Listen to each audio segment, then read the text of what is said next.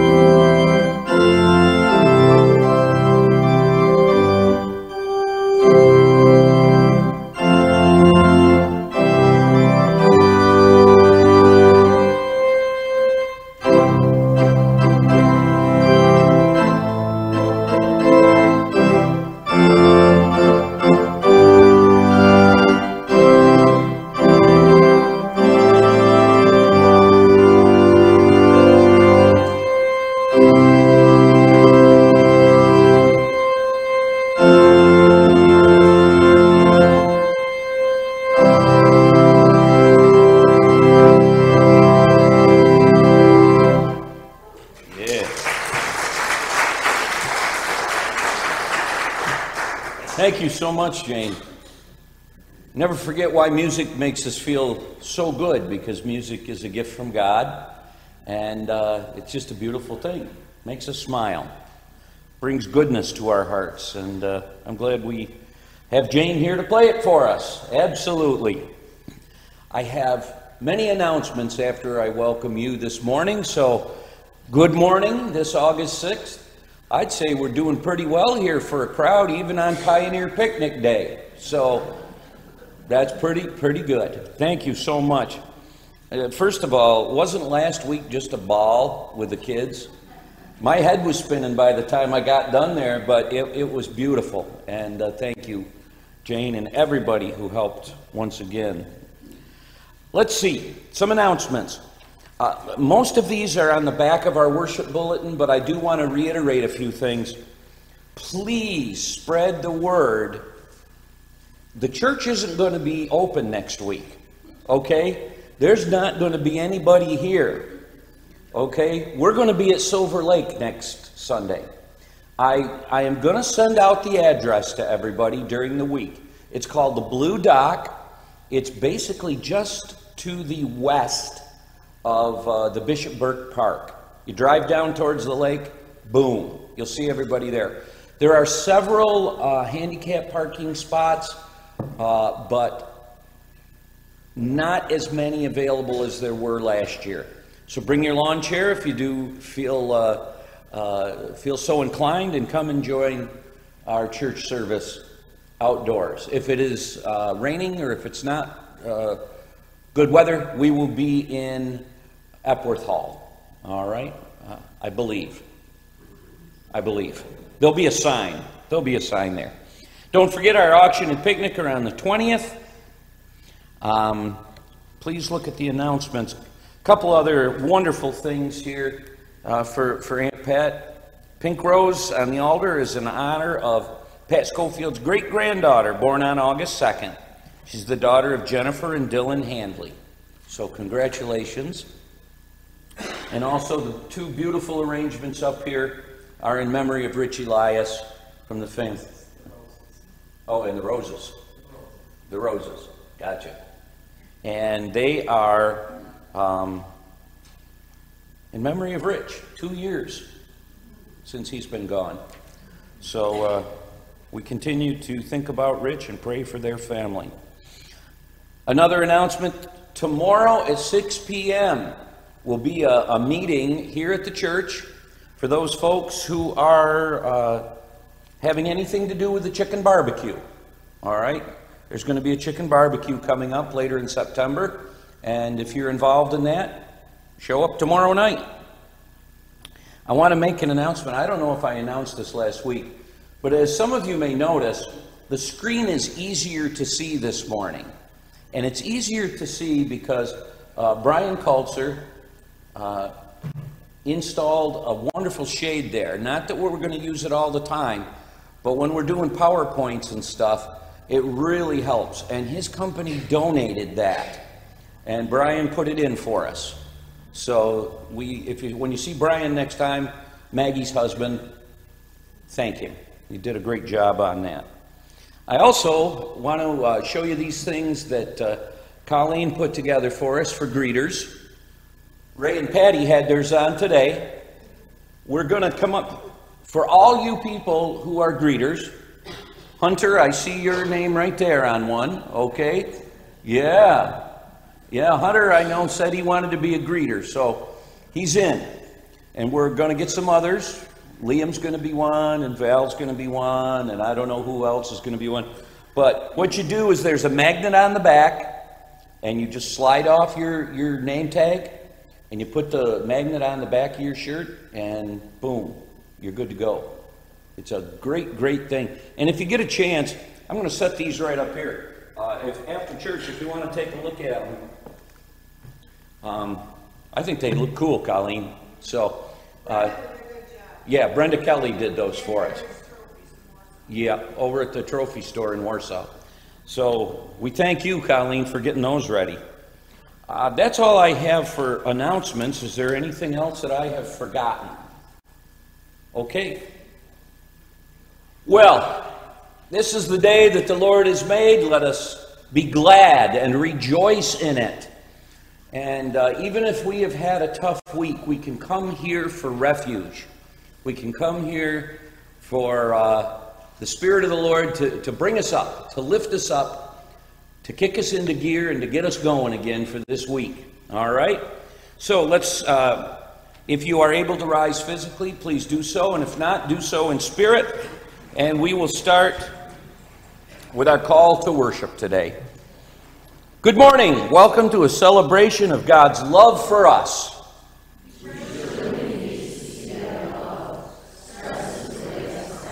You've come to the right place. This is a place where all of us can seek God's presence and share our deeper, innermost concerns with God. We are glad to hear that, for we wrestle with our faith far too. Do not fear, God is always with you, loving and transforming your lives. Lord, mercy and compassion, our. Help us to reach out with love to others. Amen. Let us pray together in our invocation. In the darkness of night and the brightness of day, you, O Lord, are present to us.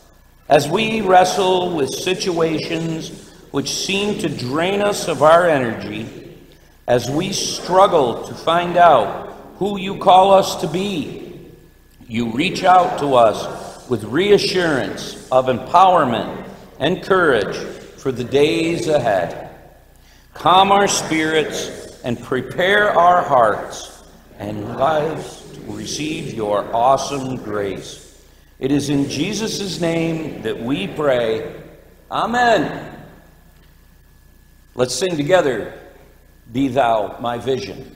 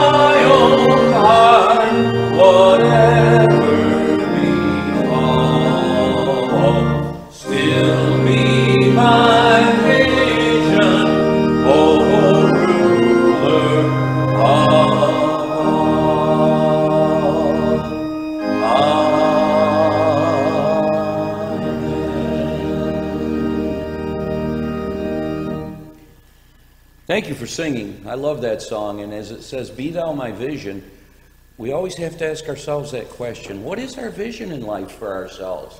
Who and what do we want to be like? There's the answer. Let's join in our prayer of confession. Lord of mercy and hope, we come before you with fear. We know that we have fallen short of being the kind of disciples that you have called us to be. We've turned our backs on people in need.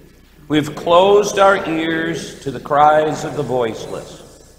And so we hesitate to come before you because we believe that you are disappointed in us. Remind us again that you are merciful and your love transforms and changes our lives. When we falter and slide off the path of hope you place before us, you pick us up and dust us off and put us again on the trail, confident of your faithful presence with us. Forgive us our weakness, strengthen us, and give us courage.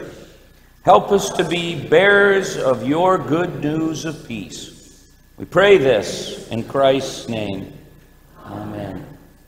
Now take a moment of silent prayer and contemplation as we reach out to God, knowing that we are not perfect, that we all get off the path, and we're asking God for forgiveness for our shortcomings.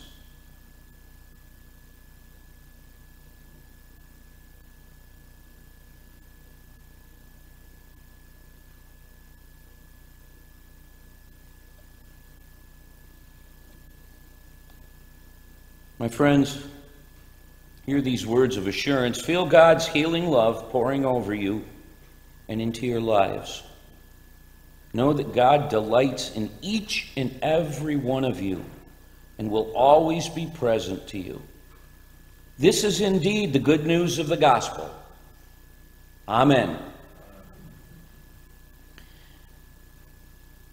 And now, the vision that Jesus had of the great kingdom of God unfolding here on this earth as we say this prayer that looks forward to that day when we say, Our Father, who art in heaven, hallowed be thy name.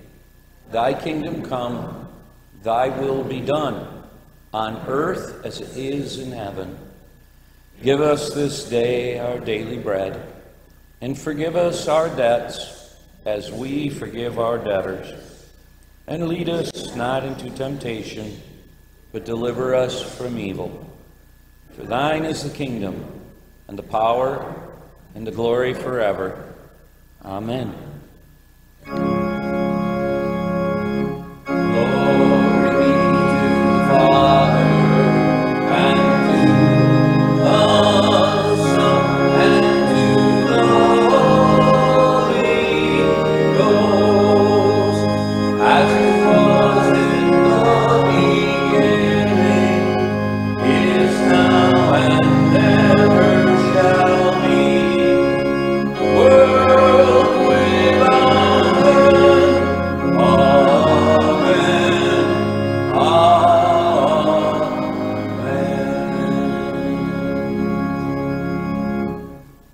Be seated, everyone. And Chris is going to bring the scripture this morning.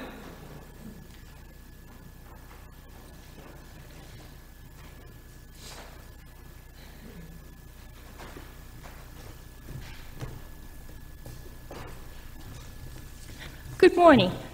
Our scripture today comes from Genesis 32, verse 22 through 31. The night Jake, excuse me, that night, Jabbok got up and took his two wives, his two female servants, and his eleven sons, and crossed the ford of the Jacob. After he sent them across the stream, he sent over his possessions. So Jacob was left alone, and the man wrestled with him till daybreak. When this man saw that he could not overpower him, he touched the socket of Jacob's hip, so that the hip was wrenched as he wrestled with the man. Then the man said, Let me go, for it is daybreak. But Jacob replied, I will not let you go unless you bless me. The man asked him, What is your name, Jacob? He answered. Then the man said, Your name will no longer be Jacob, but Israel, because you have struggled with the God and with humans have overcome. Jacob said, Please tell me your name. But he replied, Why do you ask me my name? Then he blessed him there. So Jacob called the place Pen- Peniel, saying, It is because I saw God's face to face, and yet my life was spared. The sun rose above him, and he passed Peniel, and he was limping because of his hip. May you find comfort and peace with this reading of God's holy word. Thank you very much, Chris. Jane has a special music song for us today.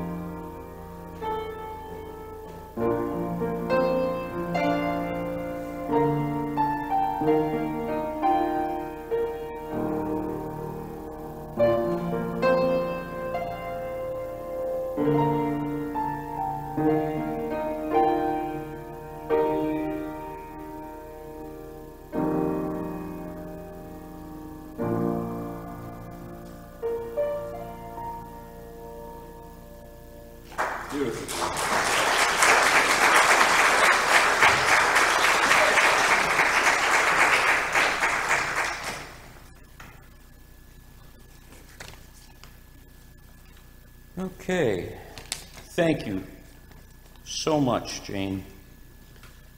And I'm looking here for my joys and concerns, and I think it got left in the office.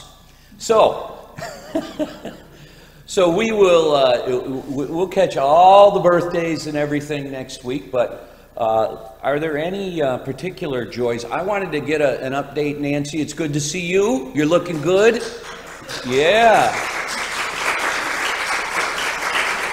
I, I talked to George about a week or so ago, and he says he's going to be. Is he home yet, or? Every time we make two steps forward, we drop back one. Okay, So he's getting there, he's chugging along, but okay, uh, sometime. all right. So uh, George is making progress, and it's awful good to see Nancy here, and I'm glad you're feeling feeling better, Nancy. Um, joys today. Well, I can definitely say VBS from last week was a joy. Lots of fun.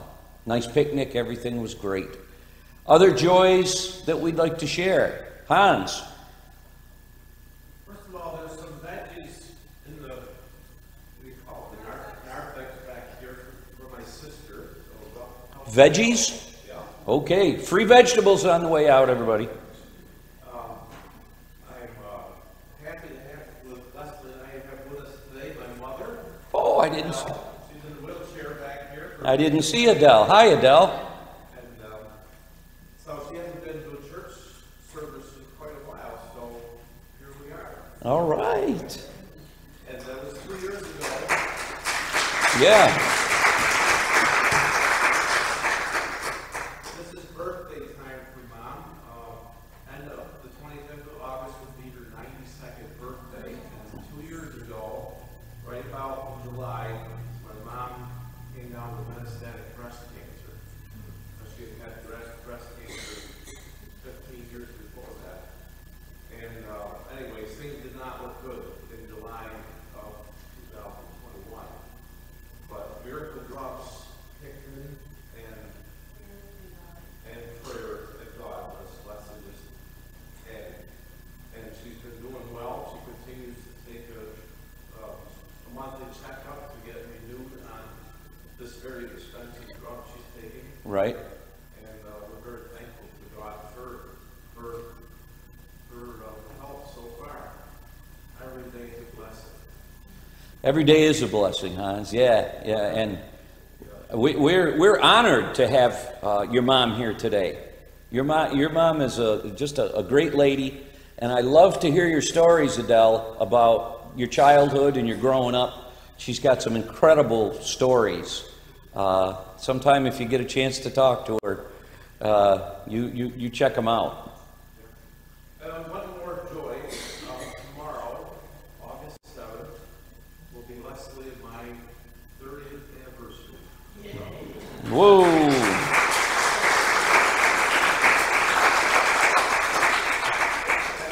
So, Eric, I'm glad that to report that I came to your next door neighbor to find my beautiful wife in Perry Center. That's right.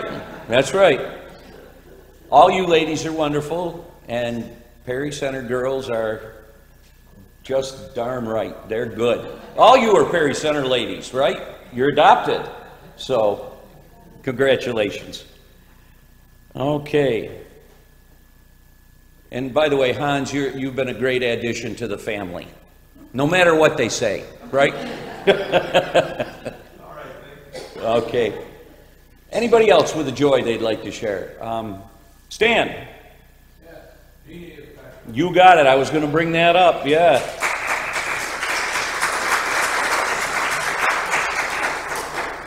Yeah, Jeannie had quite a, a, a, an interesting time in the hospital, but she is better, and she has her smile back and uh, a little kick in her step, and I think she's doing well, and we are glad that you're back, Jeannie. Thank you. Absolutely. Anybody else with a joy that they'd like to share? Prayer concerns, I'm going to have you take a look at the uh, uh, list on the back of, of our worship bulletin. And we just know that in your hearts there are always people that we are praying for. And that's how we're going to pray for people today uh, as we do that silently. So um, let us bow our heads in prayer now. Gracious Lord, for the, the joys that we, we have today, we are, we are so thankful for Jeannie being back, for anniversaries, and for birthday times, and, and for, for uh, wonderful, wonderful friends who are celebrating health, like Adele. And for our vacation Bible school, we are thankful for all the kids that we had. You bring so much wonder and joy into our lives, Lord, and those are the things that we often take for granted. But they're right there in front of us all the time, and all we have to do is look for them, and we thank you for that. We raise the names today of, of everyone who is in need of your healing touch, Lord. Uh, those who are in the hospital, like George, and other folks that have uh, uh, had sufferings lately in their lives, whether they're spiritual or emotional or physical. We know, Lord, that you're right there with them, and we ask that you give them the understanding, understanding and knowledge and um, spirit to reach out to you, O God, and to reach out to friends as well, to ask for help when they need help. We know, Lord, there are lots of people who are too proud and they feel that they're too strong to reach out for help, but they're not. And we ask, Lord, that you touch their lives and help them to know how to reach out when they need a helping hand. We thank you for our lives. We thank you for the love in our lives of family and church and friends, and your love in particular, Lord. And we pray all these things in your Son's name. Amen.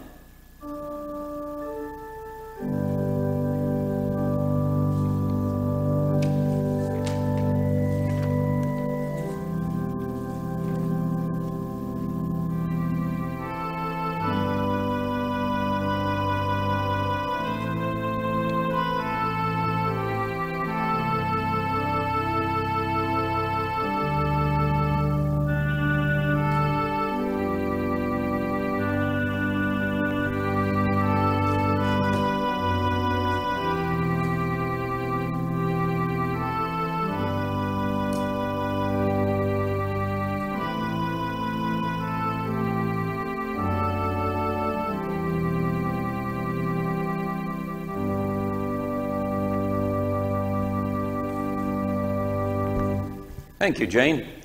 All right, friends, let's stand up and sing. This is a great old Patsy Cline tune. We do this one often, but I think it's a nice one. Just a closer walk with thee. Boy, and that's what we all want in our lives. That's for sure.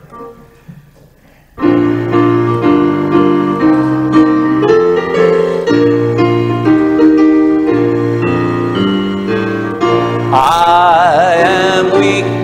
thou art strong. Jesus, keep me from all wrong. I'll be satisfied as long as I walk. Let me walk close to thee.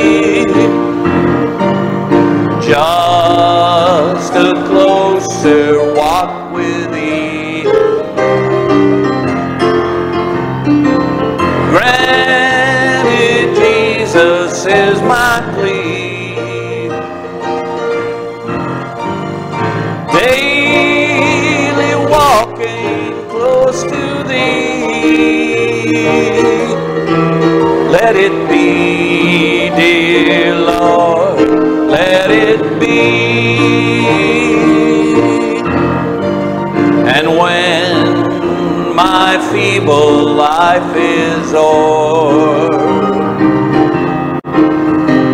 grant for me will be no more. Guide me gently, safely o'er to the shore, dear Lord, to the shore. Yes, indeed, just a closer walk with thee. That's it. Granted, Jesus is my plea. Daily walking close to thee.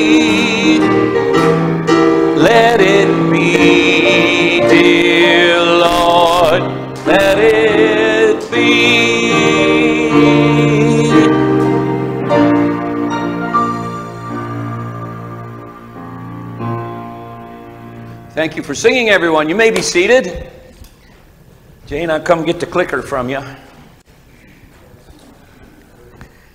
Thank you very much. So, how are we all doing today? Everybody doing okay? All right, how many folks here were wrestlers? Anybody a wrestler? Everett, you were? Jack, you were? Doug, you tried it, didn't you? You what's that? You used to wrestle with your dad. All right. Well, we we Bob, were you a wrestler too? We also call wrestlers grapplers. I like that. And I know the West family, you got Ivan and George, they're all great wrestlers. I, however, was never a wrestler. I played a little soccer and ran a little track. That it. Something about that physical contact, getting knocked around, didn't do it for me. Grappling with God, Jacob's story. All right, so we're going to have some fun with this today because there's so much. You know, we read scripture and we say, wow, I can't believe that something like that really happened. What a great, what a great thing. And that's cool. And remember, we've talked about the onion peels, or in, in, in this case, if you're like a Twix bar, okay, all the good layers of flavor. Well, there are many layers to Scripture. Scripture was written for many, many, many reasons. Yes, it was written to tell a story, it's to tell history, but it's also written to tell deep, wonderful spiritual truths that we can take and apply to our daily lives. Daily walking close with thee, just like we sang, right? So, we're going to talk about this story. And I would encourage you all, the whole story of Jacob starts in Genesis 25. So, when you get home, read up on Jacob a little bit more, all right? He was an interesting character. So, here we go. When I was younger, I wasn't a huge WWF wrestling fan, but I did think that Andre the Giant and Hulk Hogan were cool, right? Have you ever seen Andre the Giant? Yeah, Andre was like seven, two or three, and weighed like 390 or 400 pounds. But he was the sweetest, gentlest man in the world. Hulk Hogan, well, we all know Hulk, right? We've seen him. I thought they were cool. Ah, but if we go back further in history, the first real WWE or WWF star was none other than the patriarch Jacob. Okay, Jacob. Jacob wrestled with God, but this person that shows up is kind of like an angel or a man. It's never real clear in the scripture, but he recognizes that it's God. Until he was blessed, he wanted to be blessed. Please give me a blessing. I am not letting go of you until you give me a blessing. And I'm not sure if it was actually really a fight or if he just held on. which is symbolic in itself and wonderful. So, what does Jacob grappling with God mean for us, even those of us that don't like to wrestle, like me? Okay? It's a great story, and it brings us many, many solid biblical life truths. So, here's an amazing story that is summarized. I'm going to go through the whole thing again. Chris shared the scripture with us, but I'm going to summarize it. A man or an angel or some form of God, we really don't know, there's different interpretations, appears to Jacob and he wrestles this guy all night long in a WWF match underneath the stars. It goes on at night, which is interesting in itself. Goes on at night, not in the light of day. When the man or God or the angel sees that he can't seem to get rid of this guy, he reaches up and he pops him in the hip, Jacob, and it dislocates his hip. All right? I don't know where that came from. What is that? Why, why dislocate his hip? I honestly believe that the, the patriarch Jacob probably really had a bad hip. And he probably walked around like those of us that have questionable hips. And from that came the tradition of Jacob, that he had a bad hip.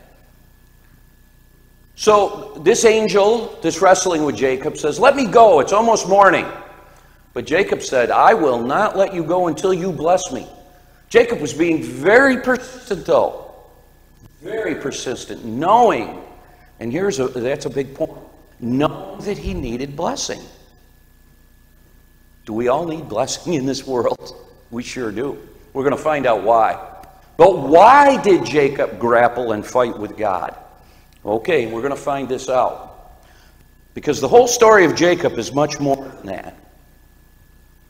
From the time of his birth until his wrestling encounter with God, Jacob was a man who was associated with trickery and deception. The great patriarch Jacob. He was a trickster, he was a mixer, he was a troublemaker, and he was deceptive. How? Jacob's most notorious acts of trickery were committed against his twin brother. He had a twin in the womb, right? He had a twin. Jacob offered his, his brother had been out doing hunting and all the things that his brother Esau did. So his brother came home really, really, really hungry and famished, and, and Jacob had been cooking this real good bowl of lentil soup, and it smelled Esau. That he said, Yeah, I'll give you some soup but you got to give me your birthright. You're the firstborn. See, all that stuff really meant a lot back in those days, which I've never agreed with or never liked, but that was back then. So, in exchange for his birthright, the firstborn son, it was a double portion of his father Isaac's inheritance. Moreover, Jacob robbed Esau of their father's blessing as well, which had been Esau's right to receive. He was not a nice brother, not a good guy. Jacob also deceived his uncle Laban. In return for 20 years of service, Jacob had tricked Laban into giving him his desired choice of wages. And what it was, he, gave, he tricked him into giving him the best goats and all the best land for farming and this and that. Okay? Goats was the big thing. Everybody had goats. Okay? Though Jacob was trickster. Now, we're seeing the duality of what human beings live with, don't we, in Jacob? Because as well as being a trickster and a troublemaker and someone who messes up often, Jacob also had good points. Here's one.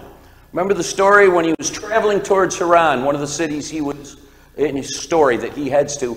He laid down to sleep in the desert, and he dreamt of a staircase that extended to heaven, in which angels kept going up and down. Now, that was a blessing from God because it gave Jacob the understanding that there is a connection between earth and heaven. That's a great blessing when we understand that, isn't it? When we know that there is something that we can go to and come back to. He had that in a dream. That was a vision. That's a blessing from God. And of course, If you look up the story on the internet, it's just called Jacob's Ladder. A bunch of angels climbing up and down. Jacob was a victim of deceit himself.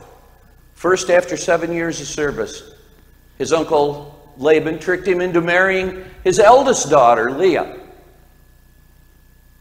Laban then made Jacob work a further seven years before he could marry Rachel. Okay? So, ladies, I'm sorry, but back then it was just men got to have as many wives as they wanted. All right? And of course, Rachel was his first choice as a bride. Laban also attempted to cheat Jacob out of wages.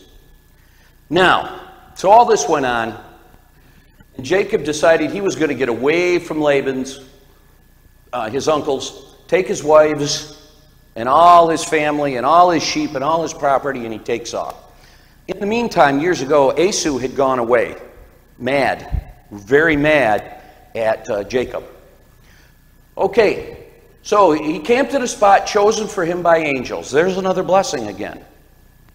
From there, he sent messengers with a gift to his estranged brother because he had heard that his brother Esau was coming to set things straight with him after he had cheated him out of all his birthrights. Fearing the worst, Jacob divided his family and herds in two so that in case one group of them fell victim to Esau, the other group might escape. Jacob prayed for the Lord's help and then sent several caravans of gifts ahead. He's saying, Esau, here, take all these gifts. Take my goats. Take my servants. Take my silver. Take my gold. Take everything. Just don't kill me and my family. That's kind of how the story goes. The other group, uh, so that they might escape. He prayed for the Lord's help and then sent several caravans of gifts. Finally, Jacob sent his wives and all them. He knew, though, that he had to, at this point in his life, face up to what he had done earlier in his life. He had to face it. He was coming to a crossroads in his life, wasn't he? He was coming to a point where he had to say, I got to man up now. I got to do this, and I got to set the, you know, the record right. Alone in the desert in the wilderness, Jacob had the ultimate restless night. And here's where our story picks up. When the stranger, the angel, visited Jacob, they wrestled throughout the night. And they wrestled until daybreak, at which that point stranger crippled Jacob. Even then, Jacob held on. He must have known there was something supernatural and special about this stranger, as we said, because he demanded a blessing from him. Now, here's something that we all need to remember. We hear of Israel, right? Okay, we know, we think of it as a country now. Well, Israel was really a man's name to start with. Jacob, after he wrestled all night long with God, was blessed with a new name Israel. And it is from Jacob that the 12 tribes of Israel came from. He was the patriarch of all the 12 tribes of Israel. And then you get into the Joseph and the amazing Technicolor Dreamcoat story, right? That's where that comes from. Okay, well, listen to what his name means. The stranger gave Jacob a new name. Israel likely means he struggles with God. We're kind of all Israel, aren't we? We kind of all. For us, we can envision this maybe. How do we put this in a practical sense now? We can envision this long night spent praying, pleading with God for healing or resolution or something to do with our children. I pray on that one a lot. I pray for for my kids and my family and my church all the time. And that's one that I pray about a lot. Grandmas and grandpas, I'm sure you pray for your grandchildren all the time. That's one. And in our pleading, we could be crying, wringing our hands, and perhaps that all of us have spent a restless night wrestling with a decision or a dilemma, wrestling with something. Whatever it is, you can fill the blank in. We've all had those nights. We've all had those weeks. The stranger gave the reason for Jacob's new name because you have struggled with God and with humans, because he was flawed. Okay? He's had things done to him, and he was a trickster and a troublemaker himself. Jacob gets the new name. Now, here's funny. It's, this has to do with the Hebrew, um, uh, Hebrew traditions. Jacob asked for the stranger's name, but the man declined. The name of God was very, very sacred and, and often used. Utter the name of God. It was so powerful. So that could be it. And then Jacob receives what he wanted, a blessing. Now he lived for the rest of his life, but he saw God face to face. He came to that relationship with God through hanging on in that wrestling match. We've all been wrestling our whole lives, haven't we? We've got our good days when we win the matches, and we got our bad days when we sure don't win the matches. Okay? But you hold on and you keep wrestling, like Jacob did. He saw God face to face, and even with that busted up hip of his, he saw God's blessing. He was strong. Jacob's struggle with God can be looked at symbolically of his struggle with his inner self. How many people, how many people wake up some days? I have, some nights I have horrid dreams. I dream of things in the past. Does anybody ever dream of things in the past from a long time ago? Yeah. Yeah. I told Val this morning I took a Tylenol PM last night. For some reason, whenever I take a Tylenol PM, I sleep really well, but I have horrid dreams. So I try not to do it too often. But I will often dreams of struggle, a dream of struggles and things in my life, maybe from 40 or 50 years ago, that bothered me. Like they come out. Now I have resolved them, but now and then, wow, they get me. God wanted to enter into a relationship with Jacob. However, he couldn't do so until Jacob admitted his weakness of self reliance, deceit, and trickery. I know it's hard for us living in 2023, United States of America, and I say this all the time. We are not rocks unto ourselves. We cannot do it all on our own. We just can't. We need family, we need friends, and most of all, we need God. We need to have that relationship so that we can hold on, and even with a dislocated hip or two, or a bad knee, or a bad back, or a disease that has given you a hard time, you can still hold on. When Jacob refused to surrender, a mere divine touch on his hip forced him to surrender and admit his need for God. Yeah.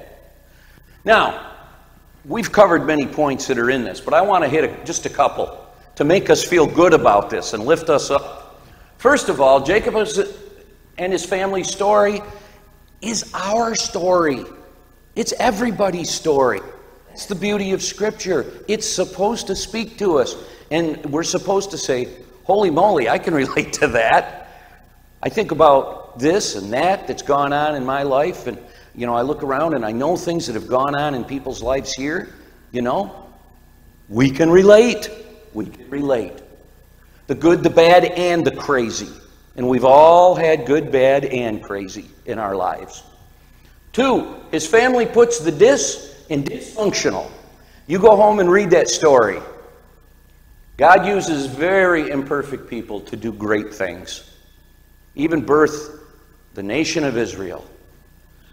After we wrestle with God and ourselves, and we hold on, even though we might be injured with a bad hip or whatever spiritual woe that might come our way, we're blessed with a new identity and a new way of being and a new way of looking at things.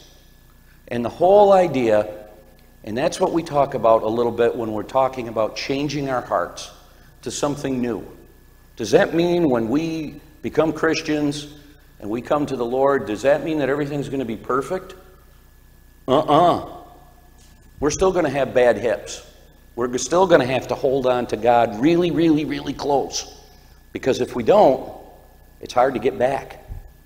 It gets harder and harder to get back. So grab a hold Wrestle with God, wrestle with yourself, and say amen. Yeah. Thanks, Jane.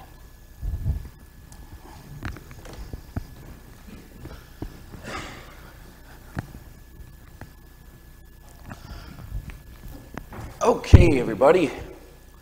We're going to sing Bind Us Together, and then I think he's got the whole world in his hands in key of C, okay, Jane? I put the wrong song so let me use the. Oh, the summons. Okay, we'll do the summons. no sweat. Which one is that? 2130?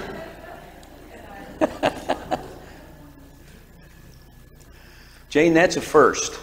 You never make the mistakes, it's always me. All right, 2130, the summons. That's a good one, too.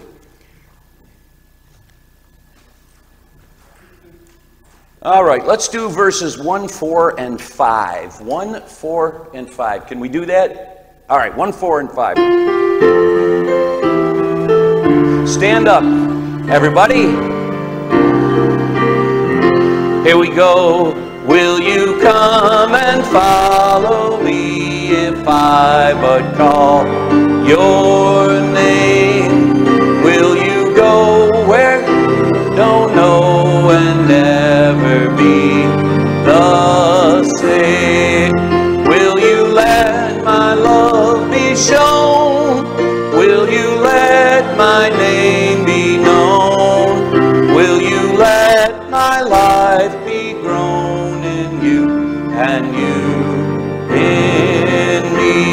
Verse 4 Will you love the you you hide if I but call your name?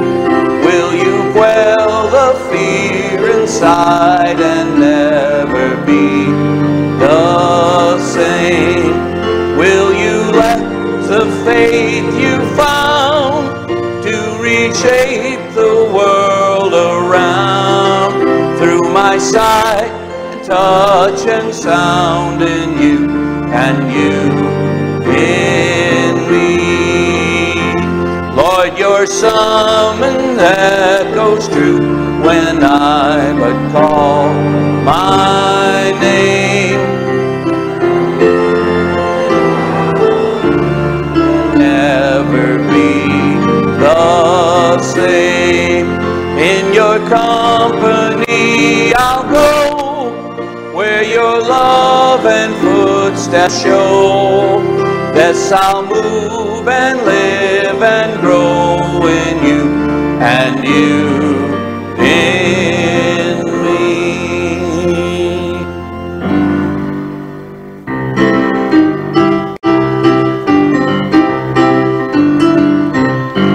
He got the whole world in his hands. He got the whole his hands. He got the whole world in his hands. He got the whole world in his hands.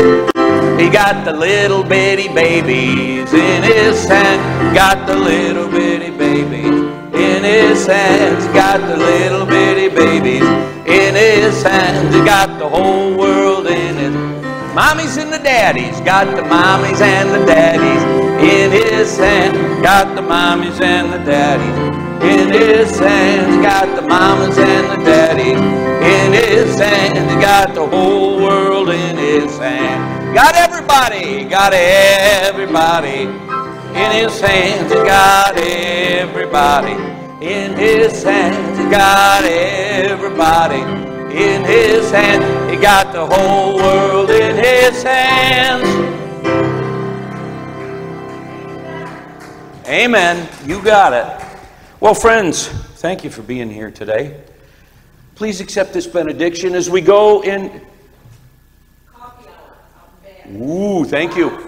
There's lots of stuff left, and I sneaked a blueberry piece of cake on the way out here. It's all really, really good. So go get some. There's lots left. Yeah, I know. I'll have to eat it all, and that would be a terrible shame, Jeannie. Accept this benediction. As we go into the world, do so with love in your heart.